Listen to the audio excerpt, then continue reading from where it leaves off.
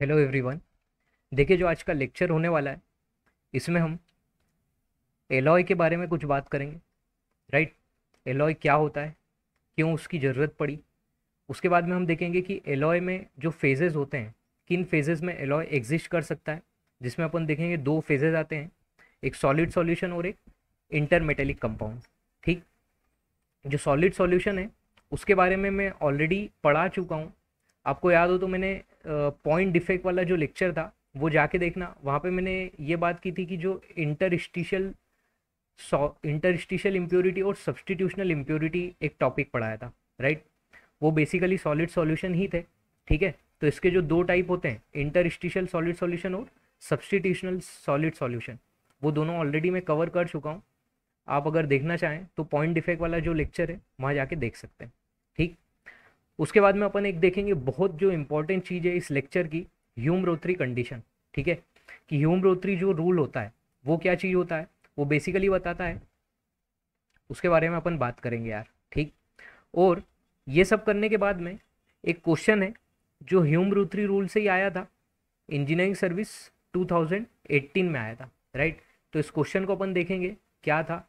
इसको अपन सॉल्व करेंगे, ठीक है? तो भैया लेक्चर को स्टार्ट करते हैं अपन। ठीक? देखते हैं एक एक चीज़ क्या होता है। देखो, अगर सबसे पहले मैं एलॉय के बारे में बात करूँ, ठीक? तो ज़रा यहाँ पे ध्यान दो कि एलॉय क्या होता है। तो भैया ऐसा है, सबसे पहले तो एक चीज़ समझो, जैसे मान लो, मेरे को शिप बनाना था, ठीक? तो अब यार लोगों ने सोचा, लोगों को शिप बनाना था, उनने सोचा कि यार अपन आयरन का यूज़ करते हैं। आयरन का यूज़ करके उन्होंने जब शिप बनाया तो देखा कि यार पानी के कारण उनमें करोजन लग गया, जंग लग गई भाई आयरन में, ठीक। अब लोगों ने बोला, यार, अब क्या करें अपन यार? इसका क्या सॉल्यूशन निकालें? तो एक सॉल्यूशन ही निकल के आया कि भैया, उस आयरन में तुम क्या ऐड कर दो? उस आयरन में क्रोमियम ऐड कर दो। अगर क्रोमियम ऐड करोगे तो भैया, उस कंपोनेंट का जो करोजन रेजिस्टेंस है, वो बढ़ जाएगा, ठीक। तो करोजन की प्रॉब्लम ख़त्म हो जाएगी, ठीक है। ऐसे ही और भी चीज़ें, अपने को अगर मान लो कोई मटेरियल है, उसमें और भी कुछ स्पेसिफिक प्रॉपर्टीज़ अपने को अगर इम्पार्ट करना है तो उसके लिए अपने को क्या करना पड़ेगा? कुछ certain kind of component certain kind of materials अपने को ऐड करना पड़ेंगे राइट जो एलॉय होता है ना, वो यही चीज़ होती है, ठीक है? डेफिनेशन पढ़ो। क्या लिखा है? When impurity atom are added into a metal to impart certain properties to it ठीक है? किसी मेटल में अपन इम्प्योरिटी एटम्स को ऐड करेंगे to impart certain properties in it then it is known as alloy right कोई एक component metal होना चाहिए ये कंपलसरी है ठीक है? कि मेटल है उसमें तुम कोई नॉन मेटल ऐड कर रहे हो या आ, कोई दूसरा मेटल ऐड कर रहे हो ठीक है? वो दो या दो से ज़्यादा हो सकते हैं वो डिपेंड उससे कोई फ़र्क नहीं पड़ेगा। सिर्फ़ इम्पोर्टेंट क्या है? कि मेटल एक मेटल होना चाहिए राइट जैसे मैंने ये आयरन और क्रोमियम का एग्ज़ाम्पल बताया ठीक है? ऐसे ही जो सिल्वर होता है ना, ठीक, चांदी चांदी तो जो प्योर सिल्वर होता है, भैया, उसका करोजन रेजिस्टेंस तो बहुत हाई होता है, ठीक? लेकिन वो बहुत सॉफ्ट होता है, ठीक है? तो क्या किया? उसमें कॉपर ऐड कर दिया।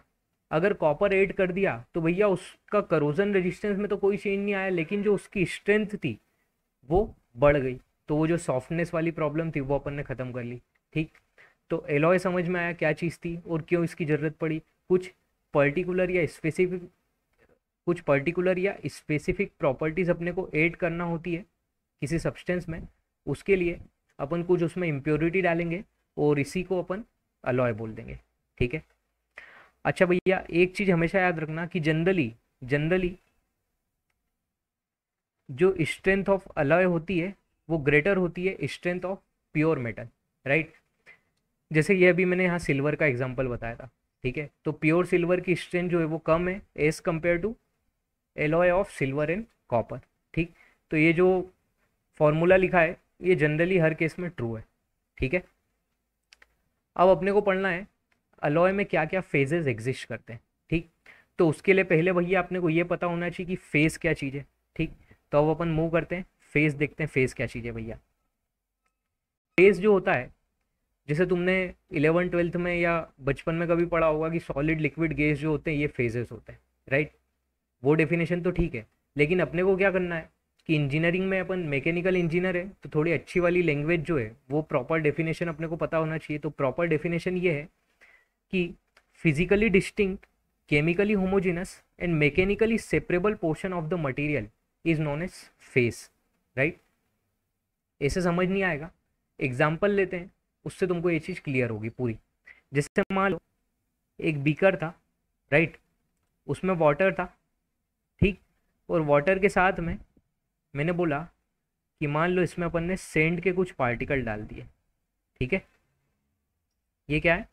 सेंड के पार्टिकल तो सेंड है और ये ऊपर क्या है? वाटर है अपना, ठीक? अब यहाँ पे भैया टोटल दो फ़ेज़ एग्जिस्ट करते हैं, ठीक है? सॉलिड और लिक्विड ठीक है? कैसे मैं बोल पा रहा हूँ? दो फ़ेज़ एग्जिस्ट कर रहे हैं। देखो फिजिकली डिस्टिंक्ट है। अरे वाटर का स्ट्रक्चर अलग होता है सेंड का स्ट्रक्चर अलग होता है। फिजिकली डिस्टिंक्ट है? हाँ भैया, है। केमिकली होमोजिनस है? देखो वाटर में तुम इस पॉइंट पे जाके कंपोजिशन चेक करो। इस पॉइंट पे जाके कंपोजिशन चेक करो। चाहे इस पॉइंट पे जाके कंपोजिशन चेक करो। किसी भी पॉइंट पे जाके तुम कंपोजिशन चेक करो। जो उसके कंस्टिट्यूएंट है। हाइड्रोजन और ऑक्सीजन, उनका जो अमाउंट है वो फिक्स है। ठीक? तो होमोजिनस हुआ। ऐसे ही सेंड में भी होगा कि सेंड में किसी भी जगह जाके तुम चेक करो पार्टिकल्स का, उनका कंस्टिट्यूएंट सेम है। ठीक है? सेंड अपन ने होमोजिनस ली थी होमोजिनस मिक्सचर लिया था। ठीक है? मैकेनिकली सेपरेबल है। बिल्कुल भैया। अरे छन्नी लगा दो यार। छन्नी लगा दो वाटर पूरा निकल आएगा सेंड वहीं की वहीं रह जाएगी। ठीक है क्या? तो दो फ़ेज़ एग्जिस्ट कर रहे हैं क्या भैया? सब, समझ में आया? फेस क्या चीज़ थी? Physically distinct chemically homogeneous mechanically separable portion of the material is called phase right ऐसा ही एक और एग्ज़ाम्पल ले सकते हैं कि मान लो वाटर था वाटर के अंदर आइस थी, ठीक है? तो वाटर और आइस ये दोनों भी दो फ़ेज़ एग्जिस्ट कर रहे हैं वहाँ पे भी, ठीक? अच्छा अगर वाटर और सॉल्ट है, ठीक है? वाटर था, उसके अंदर अपन ने सॉल्ट डाला और उसको मिक्स कर दिया। वो सिंगल फ़ेज़ होगा भैया, ठीक? वहाँ पे डबल फ़ेज़ नहीं होंगे, ठीक है? क्योंकि वो तुम देखोगे, जो नमक था सॉल्ट था, वो पूरा का पूरा घुल गया है, ठीक है? तो वो पूरा का पूरा सब्सटेंस जो है, वो सिंगल फ़ेज़ बन चुका है, ठीक है? उसको आप सेपरेट भी नहीं कर सकते मैकेनिकली ठीक है? फेस तुमको क्लियर है फेस क्या चीज़ थी? अब देखो फेस क्लियर हुआ तो अब अपन आगे की बात करते हैं, कि जो एलॉय होते हैं, उनमें क्या क्या फ़ेज़ एग्जिस्ट करते हैं, ठीक है? जब तुम एलॉय में मतलब कोई मेटल में जब तुम इम्प्योरिटी ऐड करते हो तो उसको अपन एलॉय बोलते हैं राइट अब भैया ये इम्प्योरिटी ऐड करने पे दो पॉसिबिलिटीज़ बनती है कि या तो वो जो एलॉय बनेगा, वो सॉलिड सॉल्यूशन होगा, या फिर वो जो बनेगा, वो इंटरमेटेलिक कंपाउंड होगा। ठीक? क्या क्या ये चीज़ें होती है, वो अपन अब देखते हैं। देखो, ये टाइप तुमने, मैंने पहले ही बता रखे हैं कि सब्सटीट्यूशनल सॉलिड सॉल्यूशन और इंटरस्टिशियल सॉलिड सॉल्यूशन ठीक है? ये दो होते हैं सॉलिड सॉल्यूशन के टाइप पहले तो ये समझो सॉलिड सॉल्यूशन क्या चीज़ है? सॉलिड सॉल्यूशन ना बस ऐसे समझो, जैसा मान लो वाटर था वाटर में अपन ने शुगर ऐड की राइट तो वो एक सिंगल फ़ेज़ बन जाएगा ना? समझ लो शुगर जो है, या सॉल्ट ऐड किया, पूरा घुल जाएगा, उसमें कम्प्लीटली मिसिबल है कम्प्लीटली उसमें घुल गया, ठीक? वो एक सिंगल फ़ेज़ बन गया। ऐसे के ऐसे ही सॉलिड्स में भी एग्जिस्ट होता है।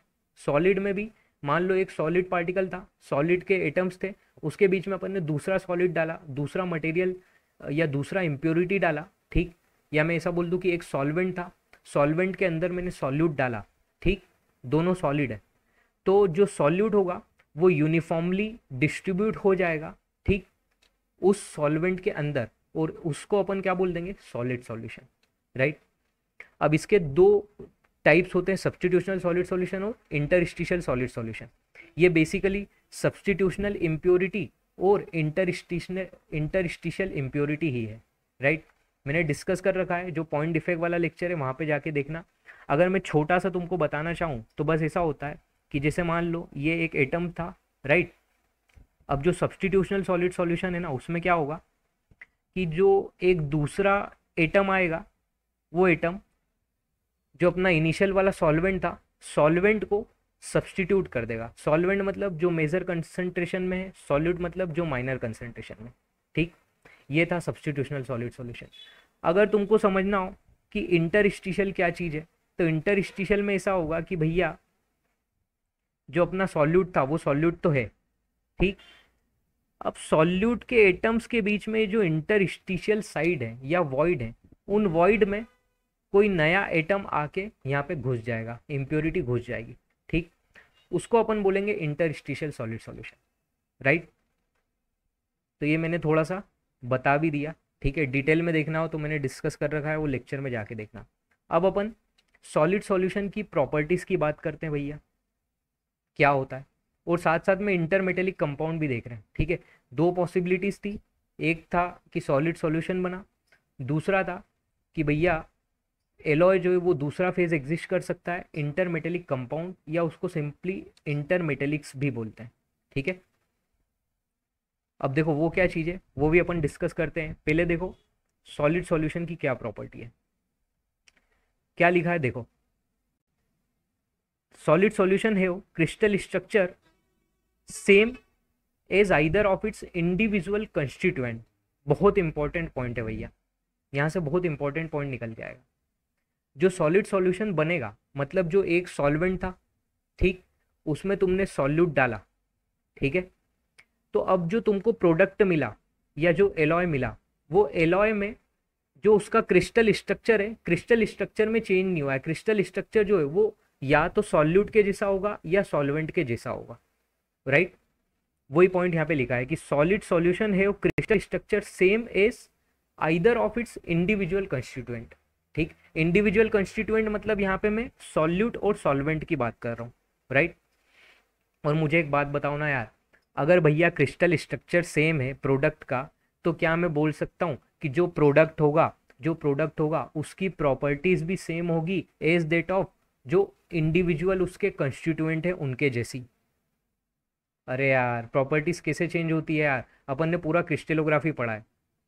अरे एफसीसी जो था, वो अगर बीसीसी बन गया तो भैया एफसीसी जो जनरली सॉफ्ट एंड डक्टाइल होते हैं, वो अगर बीसीसी बन गए तो भैया वो हार्ड और बिटल ना हो जाएँगे। समझ रहे हो? तो अगर क्रिस्टल स्ट्रक्चर चेंज नहीं हो रहा है तो क्या मैं ये बात बोल सकता हूँ कि प्रोडक्ट की जो प्रॉपर्टीज़ होंगी product reflects reflects the properties of its constituent अरे समझ में आया कि नहीं आया? ठीक है, यहाँ तक की बात। ओके भैया। इसका ठीक उल्टा होगा। इंटरमेटेलिक कंपाउंड्स में। इंटरमेटेलिक कंपाउंड्स में क्या लिखा है? पढ़ो। उसमें भैया ये होगा कि इंटरमेटेलिक कंपाउंड्स है वो crystal structure different from either of its constituent ठीक है? मतलब भैया, तुमने मान लो सॉल्यूट था सॉल्यूट में तुमने सॉल्वेंट ऐड किया। तो जो प्रोडक्ट तुमको मिला, वो प्रोडक्ट का क्रिस्टल स्ट्रक्चर ना तो सॉल्यूट के जैसा है, ना ही सॉल्वेंट के जैसा है। वो कुछ और ही बन गया। ठीक? उस केस में, उस केस में अपन बोलेंगे कि अपने को क्या मिला है? इंटरमेटेलिक कंपाउंड मिला है। और अगर मुझे एक बात बताओ यार क्रिस्टल स्ट्रक्चर चेंज हो चुका है तो क्या मैं ये बोल सकता हूँ कि प्रॉपर्टीज़ भी चेंज हो जाएगी यार? अरे समझ में आ रहा है कि नहीं आ रहा है यार? अरे भैया, अगर क्रिस्टल स्ट्रक्चर चेंज हो गया तो अपन ये पॉइंट बोल सकते ना कि जो प्रोडक्ट होगा product does not reflect the properties of its constituent जो प्रोडक्ट या एलॉय तुमको अभी मिला है उसकी जो प्रॉपर्टीज़ होगी वो उसके इंडिविजुअल जो थे सॉल्यूट और सॉल्वेंट उनसे डिफरेंट होगी राइट एक पॉइंट और था इधर अपना सॉलिड uh, सॉल्यूशन में कि variation in composition is possible ठीक है? कंपोजिशन में वेरिएशन पॉसिबल है। इसका मतलब ये है मैं एग्जांपल से समझाता हूँ। अगर मान लो मैं तुमको सब्सटीट्यूशनल सॉलिड सॉल्यूशन का एग्जांपल दूँ तो भैया कॉपर निकल एक फ़ेमस होता है, ठीक है? जिसके बारे में अपन डिटेल में आगे बात करेंगे जब फेस डायग्राम पढ़ेंगे।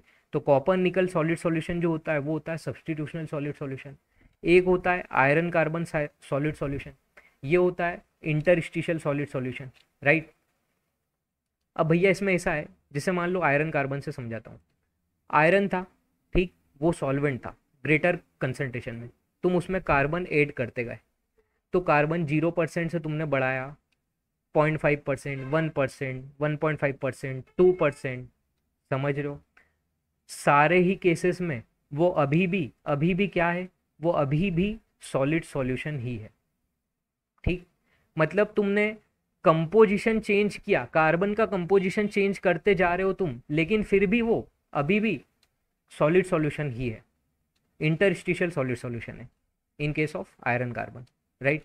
जबकि अगर मैं बात करूँ इंटरमेटेलिक कंपाउंड की तो भैया इंटरमेटेलिक कंपाउंड में जो कंपोजिशन होता है वो फिक्स होगा। ठीक है?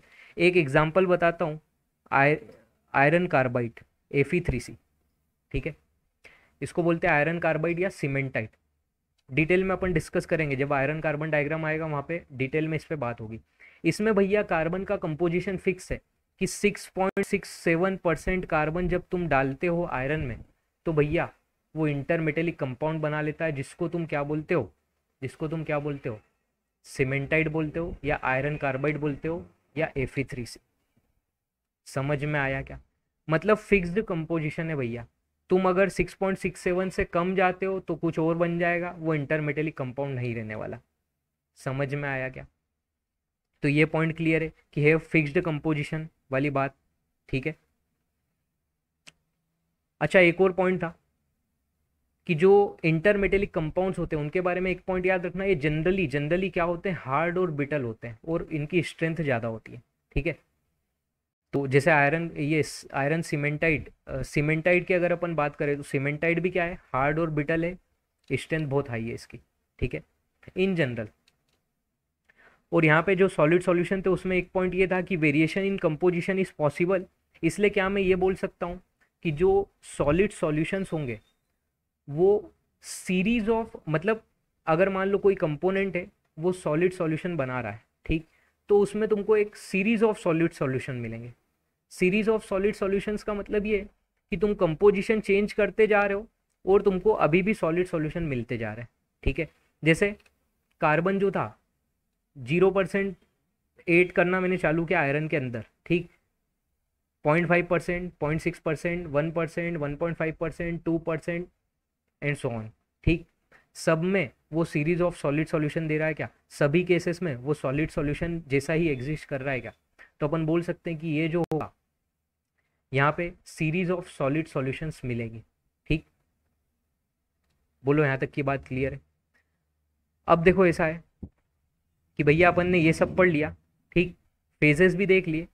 अब नेक्स्ट पॉइंट ये आता है कि नेक्स्ट पॉइंट डिस्कस करना है अपने को। बहुत इंपॉर्टेंट पॉइंट आ रहा है ह्यूम रोथरी रोड ठीक है? बहुत ही इंपॉर्टेंट चीज़ है। अभी तक जो भी मैंने बताया वो सब बेसिक था इसको समझने के लिए, ठीक? तो ध्यान से देखो ह्यूम रूथरी कंडीशंस क्या है या ह्यूम रूथरी रूल क्या है, ठीक है? पहले तो एक एक चीज़ देखो, अपन ये बताता है कि कौन सा कंपोनेंट कौन सा जो सॉल्यूशन बनेगा, वो कंप्लीट सॉलिड सॉल्युबिलिटी देगा, ठीक? इंटरमीडिएटली कंपाउंड अपन ने पढ़ा था, अब उसको भूल जाओ, ठीक है? अब अपन सॉलिड सॉल्यूशन पे अपना फोकस कर रहे हैं। उसमें भी एक पॉइंट आ रहा है कंप्लीट सॉलिड सॉल्युबिलिटी अब ये क्या नया वर्ड आया भैया सॉलिड सॉल्युबिलिटी देखो, वैसे तो मैंने ये चीज़ डिस्कस कर रखी है उस लेक्चर में, फिर भी मैं थोड़ा सा और बता देता हूँ। ऐसा है, जैसे मान लो वाटर था वाटर के अंदर, ठीक, एक बीकर में वाटर था, ठीक? तुमने इसमें शुगर ऐड करना चालू की, ठीक है? शुगर तुम इसमें ऐड कर रहे हो। और उसको घोल रहे हो ठीक?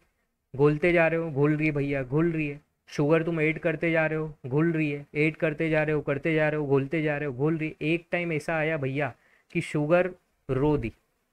वो बोलेगी अब मेरी लिमिट हो गई भैया, अब मैं नहीं घुलने वाली। ठीक? उस केस में तुम देखोगे कि जो वो केस होता है ना वो केस ये हो जाएगा कि फिर तुम फर्दर जो भी शुगर डालोगे, वो यहाँ बेस में जाके सिर्फ़ बैठ जाएगी, इकट्ठी हो जाएगी। तुम घोलते रहो, नहीं घुलने वाली। ठीक?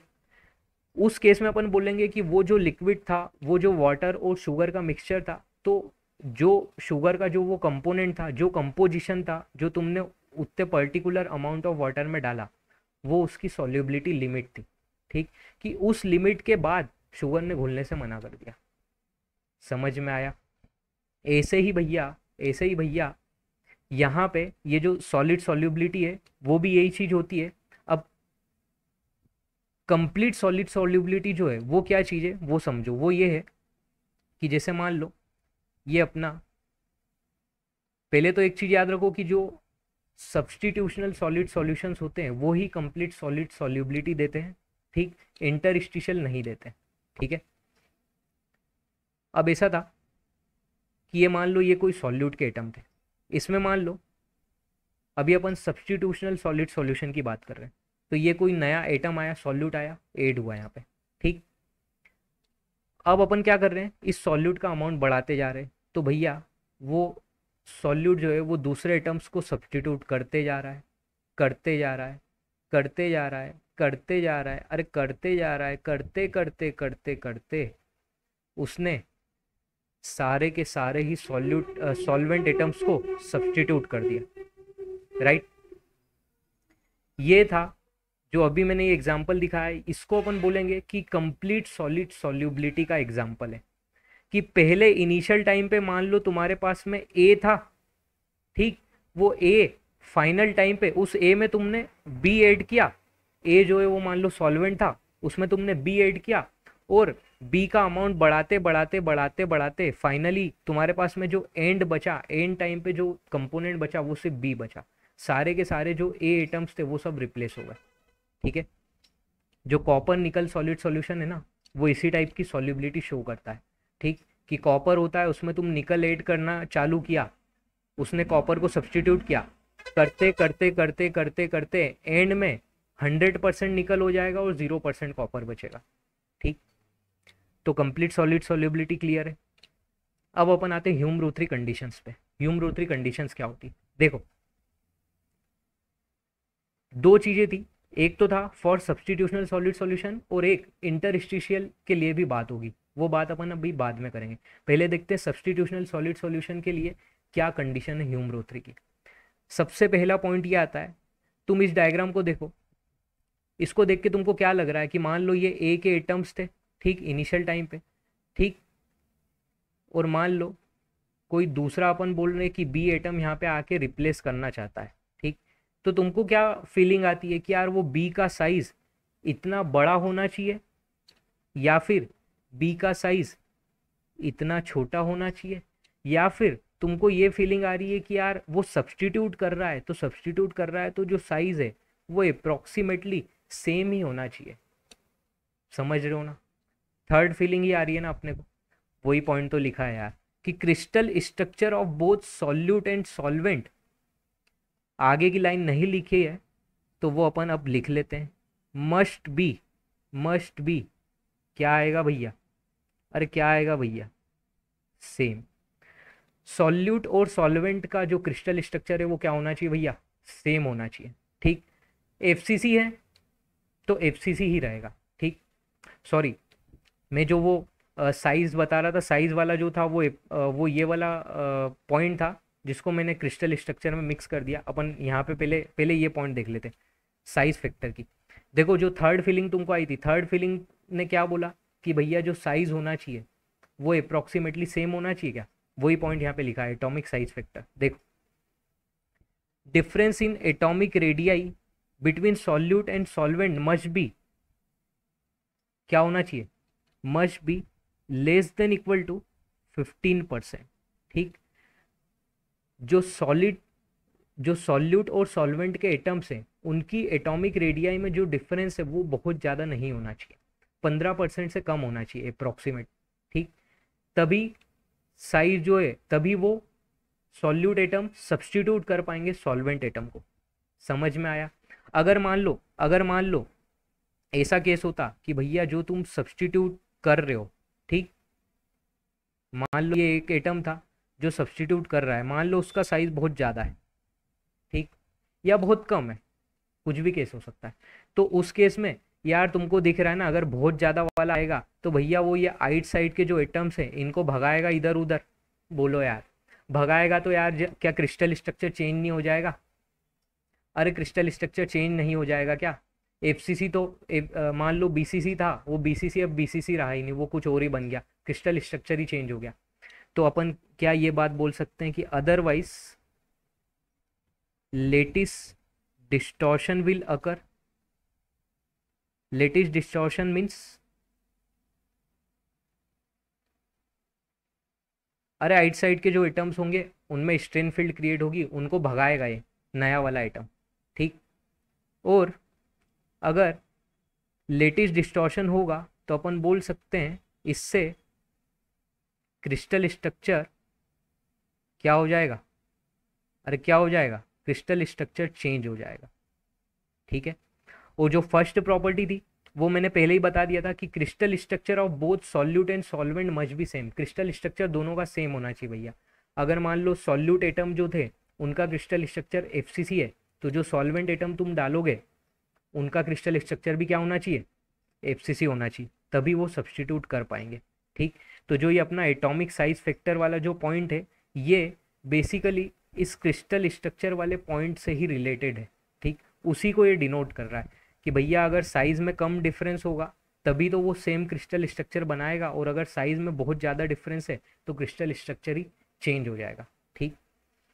थर्ड प्रॉपर्टी देखते हैं थर्ड पॉइंट आता है इलेक्ट्रोनेगेटिविटी भैया जो सॉल्यूट और सॉल्वेंट के जो एटम्स है ना, ठीक, उनकी जो इलेक्ट्रोनेगेटिविटी है, वो अप्रॉक्सीमेटली सेम होना चाहिए, या मैं बोल दूँ कंपेरेबल होना चाहिए, ठीक?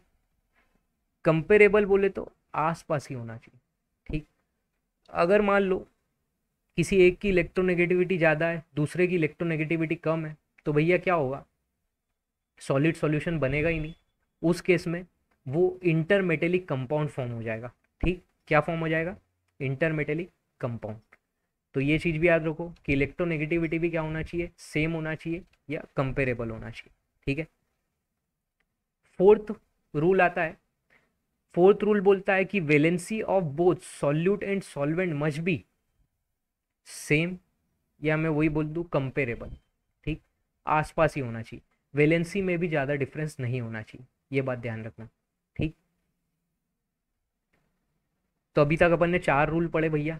पहला रूल था सबसे इंपॉर्टेंट क्रिस्टल स्ट्रक्चर सॉल्यूट और सॉल्वेंट एटम का क्रिस्टल स्ट्रक्चर सेम होना चाहिए। दूसरा पॉइंट अपन ने पढ़ा कि जो साइज़ का डिफरेंस है वो 15 परसेंट से कम होना चाहिए अप्रॉक्सीमेटली थर्ड पॉइंट अपन ने पढ़ा इलेक्ट्रोनेगेटिविटी सेम होना चाहिए या कंपेरेबल होना चाहिए। वेलेंसी सेम होना चाहिए या कंपेरेबल होना चाहिए राइट देखो, एक बहुत important note William D Callister जो बुक है, ग्रंथ है मटेरियल साइंस का वहाँ से मैंने एक पॉइंट लिया है। ये वैलेंसी वाला जो पॉइंट है ना, उसी के साथ में उसमें एक पॉइंट और लिखा हुआ है। इसमें E S C two thousand में क्वेश्चन भी आया था। उसको अभी अपन करेंगे। वो पॉइंट ये बोलता है कि देखो वैलेंसी तो पहली बात तो उसने बोली कि वैलेंसी सेम होना चाहिए, ठीक? या कंपेरेबल होना चाहिए। बट अगर मान लो वैलेंसी सेम नहीं है तो उसने ये बात बोली कि कौन सा सॉल्यूशन ज़्यादा स्टेबल होगा मोर स्टेबल सॉल्यूशन क्या होगा? उसके ऊपर उसने कमेंट किया है केलिस्टर में ये लाइन लिखी हुई है। वो लाइन क्या है? ये नीचे लिखी है, उसको अपन पढ़ेंगे। पहले जो अपने, मैंने ओन खुद के वर्ड्स में जो लिखा है, वो चीज़ समझो। वो पॉइंट ये बोलता है कि अगर सॉल्यूट की मोर वैलेंसी हो और सॉल्वेंट की लेस वैलेंसी हो, ठीक? तो जो सॉल्यूशन बनेगा, वो ज़्यादा स्टेबल होगा।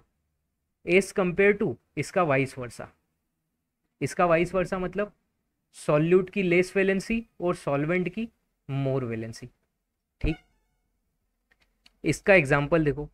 जिंक इन कॉपर जो होगा मतलब कॉपर था सॉल्वेंट उसके अंदर तुमने जिंक डाला। कॉपर की वैलेंसी लिख रखी है प्लस वन है। जिंक जो तुम डाल रहे हो सॉल्यूट उसकी वैलेंसी है प्लस टू ठीक? तो सॉल्यूट की वैलेंसी ज़्यादा सॉल्वेंट की वैलेंसी कम। ये जो सॉल्यूशन है, ये मोर स्टेबल है as compare to copper in zinc ठीक? As compare to copper in zinc मतलब कॉपर मतलब लेस वैलेंसी वाला जिंक मतलब ज़्यादा वैलेंसी वाला। ठीक है? तो क्या ये पॉइंट तुमको क्लियर है? डब्ल्यू डी केलिस्टर में अब जो लाइन लिखी थी वो पढ़ो। A metal will have more tendency to dissolve another metal of higher valency ठीक? Then one of lower valency एक मेटल है उसमें ये टेंडेंसी होगी कि वो अपने अंदर ज़्यादा वैलेंसी वाले एटम को डिजोल्व करे rather than dissolving another material या another atom which has less valency ठीक है? तो ये सॉल्यूट और सॉल्वेंट की टर्म में जो मैंने लिखा है, क्या ये पॉइंट क्लियर है? ठीक है? अब देखो भैया, इसका जो कंप्लीट सॉलिड सॉल्युबिलिटी थी उसका एक एग्ज़ाम्पल जो था कॉपर निकल सॉलिड सॉल्यूशन है राइट अगर तुम कंपेयर करना चाहो, ये डेटा जो याद रखने की ज़रूरत नहीं है भैया, ठीक? वो सिर्फ़ इंटरेस्ट के लिए तुमको बताया है कि तुम कंपेयर कर सकते हो, इसमें चारों कंडीशन सेटिस्फाई हो रही है, जो ह्यूम रूथरी बोला था, ठीक? रेडियस अगर तुम देखो तो कॉपर का point one two eight nanometre है निकल का point one two five nanometre है, तुम इनका डिफरेंस लेके परसेंटेज निकालोगे, इनका जो साइज़ में डिफरेंस है, वो अप्रॉक्सीमेटली फिफ्टीन परसेंट से कम आ रहा है। ठीक है? ऐसा कुछ करोगे ना radius of copper minus radius of nickel divided by radius of copper ठीक? उसका तुम परसेंटेज वगैरह निकालते रहना। वो फिफ्टीन परसेंट से कम ही आने वाला है। ठीक है भैया? क्रिस्टल स्ट्रक्चर की बात करें, भैया, दोनों ही फेस सेंटर्ड क्यूबिक स्ट्रक्चर है भैया, ठीक? इलेक्ट्रोनेगेटिविटी इसकी 1.59 है, इसकी 1.8 है, ठीक? वेलेंसी कॉपर की प्लस वन निकल की प्लस टू ऑलमोस्ट कंपेरेबल है। सेम ऑर्डर की, ठीक है? तो ह्यूम रूथरी की जो कंडीशंस थी, वो तुमको क्लियर है क्या? अब देखो, अगर ये कंडीशंस क्लियर है तो भैया, अपन चलते हैं सीधे क्वेश्चन की तरफ़, ठीक है? क्वेश्चन ये था, उसमें उसने ये बोला है 2018 में आया था भैया। उसमें बोला है consider the following statement regarding the solid solution of metals पहला दे रखा है the solubility of metallic solid is limited by size factor. Correct है क्या? बिल्कुल करेक्ट है यार। जो मेटेलिक सॉलिड्स होंगे, उनमें, उनकी जो सॉल्युबिलिटी है, क्या वो साइज़ फैक्टर से लिमिटेड है? अरे हाँ ना यार भैया। अभी पहला पहला रूल क्या था ह्यूमरोथ्री का? क्या था भैया पहला रूल? दूसरा रूल था। एटॉमिक साइज़ फैक्टर था ना, कि भैया जो उन दोनों के साइजेस का डिफरेंस है, वो फिफ्टीन परसेंट से कम होना चाहिए। अरे था कि नहीं था यार। वही पॉइंट तो यहाँ पे लिख रखा है, ठीक है? कि solubility of metallic solid is primarily limited by size factor correct है second point a metal with high valency can dissolve large amount of metal of lower valency अरे गलत भैया, गलत हो गया ये वाला। अरे अभी तो अपन ने बात की, अभी तो अपन ने बात की। कहाँ गया? कहाँ गया? ये रहा। सॉल्यूट की मोर वैलेंसी हो और सॉल्वेंट की लेस वैलेंसी हो तो भैया, जो सॉल्यूशन होगा, ज़्यादा स्टेबल होगा। ठीक? समझ में आया? जबकि यहाँ उल्टा लिखा है, यहाँ उल्टा लिखा है, ये बोल रहा है, a metal with high valency मतलब जो सॉल्वेंट है, उसकी हाई वैलेंसी है, अब उसमें तुम जो डिजॉल्व कर रहे हो, वो लोअर वैलेंसी वाला डिजॉल्व कर रहे हो। ठीक? बोलो, ये चीज़ क्लियर है क्या? उसके बाद में थर्ड पॉइंट लिखा है। A metal with same latest crystal structure can form a series of solid solution ये पॉइंट भी मैंने बताया था। अरे, ये पॉइंट भी डिस्कस हुआ था। वो अपन ने देखा था कि जो सॉलिड सॉल्यूशंस होते हैं सॉलिड सॉल्यूशन के अंदर, ये था ना लास्ट पॉइंट एक मिनट दिखाने दो भैया। ये सॉलिड सॉल्यूशन के अंदर वेरिएशन इन कंपोजिशन पॉसिबल है, ठीक है? कंपोजिशन में वेरिएशन पॉसिबल है, ठीक? मतलब जो तुम्हारा प्रोडक्ट बन रहा है प्रोडक्ट का क्रिस्टल स्ट्रक्चर अगर सेम है तो भैया कंपोजिशन तुम वेरी करते जाओ, एक सीरीज़ ऑफ़ सॉलिड सॉल्यूशन तुमको मिल रहा है। तो जो थर्ड पॉइंट था, ये भी करेक्ट है क्या? बोल दो। अगर फ़र्स्ट और थर्ड करेक्ट है तो बस भैया, हो गया अपना आंसर जो है वो फाइनली सी आ चुका है, ठीक है? बेसिकली ये जो फोर्थ वाला है ना, इसको तुम ऐसे भी जा सकते थे कि अगर मान लो किसी को थर्ड वाला नहीं भी पता है, तब भी वो अंदाज़ा लगा सकता है। फोर्थ पॉइंट लिखा है the limit of solid solubility is indicated by a phase boundary which is called liquidus भैया ये पॉइंट जो है ना, जब अपन फेस डायग्राम पढ़ेंगे, वहाँ पे मैं डिस्कस करूँगा। लिक्विडस नहीं होता है सॉल्वस करके एक लाइन होती है, उससे डिनोट किया जाता है, ठीक? इस बाउंड्री को फेस बाउंड्री को। वो बात आगे होगी, ठीक है? तो अगर किसी ने पढ़ रखा है तो ये तो फ़ेमस पॉइंट है। तो उसको ये पता होगा कि फोर्थ गलत है। तो भैया फोर्थ वाला गलत मतलब एक तो हट गया बी भी हट गया। उसके बाद में जो सेकंड वाला था सेकंड वाला भी गलत हो गया। एक्चुअली में देखो, यहाँ पे भी ऐसा है कि थोड़ा सा झोल है भैया। यहाँ पे लिखा है कि a metal with high valency can dissolve large amount of metal of lower valency तो देखो, केन लिखा है तो कर तो सकता है, ठीक है बट वो ज़्यादा स्टेबल नहीं होगा, ठीक है। और क्योंकि जो थर्ड वाला पॉइंट है और जो फ़र्स्ट वाला पॉइंट है, वो बहुत ज़्यादा करेक्ट है हंड्रेड परसेंट ट्रू है। तो इसलिए अपन सेकंड को बोलेंगे कि सेकंड वाला जो है वो रॉन्ग ही है, ठीक है भाई। एक्चुअल में यहाँ पे ये लिखा आना चाहिए था कि metal with high valency dissolve large amount of metal of lower valency with low stability ठीक है? या मैं ऐसा बोल दूँ कि अगर ऐसा कोई सॉल्यूशन अगर तुम बनाओगे तो उसकी स्टेबिलिटी ज़्यादा नहीं होगी स्टेबिलिटी उसकी कम होगी, ठीक है? ज़्यादा टाइम तक वो स्टेबल नहीं रहेगा, ठीक? ये क्वेश्चन था, जो 2018 में आया था। एक पॉइंट और था कि इंटर इंटरस्टिशियल सॉलिड सॉल्यूशन जो थे, उनके लिए भी ह्यूम ह्यूमरोथ्री ने कुछ रूल दिया था। उसमें जो है, वो सिर्फ़ ये पॉइंट था, देखो यहाँ पे। ये रहा। इंटरस्टिशियल के लिए ऐसा था। इंटरस्टिशियल मतलब वो, कि जैसे मान लो ये सॉल्वेंट था, और सॉल्वेंट के बीच में यहाँ पे जो इंटरस्टिशियल वॉइड्स हैं, उन वॉइड्स में इम्प्योरिटी आ गई। ठीक? आयरन कार्बन जो होता है ना, वो इसी टाइप का सॉलिड सॉल्यूशन बनाता है। कार्बन जो है वो आयरन के अंदर एज अ इम्प्योरिटी रहती है। ठीक? इंटरस्टिशियल इम्प्योरिटी रहती है। तो भैया इसके लिए ऐसा था।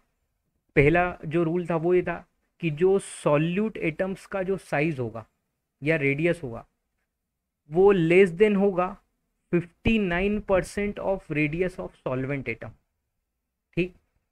तुम इसके केस में करके देख लेना, जो आयरन का जो एटॉमिक रेडियस है, जो साइज़ है, ठीक? वो देखना। और जो कार्बन का जो साइज़ है एटॉमिक रेडियस है, वो देखना। तो जो कार्बन का एटॉमिक रेडियस है, वो इसके 59 परसेंट से आयरन के 59 परसेंट से कम होगा। ठीक है? तो ये था पहला रूल दूसरा था कि वैलेंसी और इलेक्ट्रोनेगेटिविटी यहाँ पे भी, यहाँ पे भी क्या होना चाहिए भैया? अरे सेम होना चाहिए या कंपेरेबल होना चाहिए, ठीक?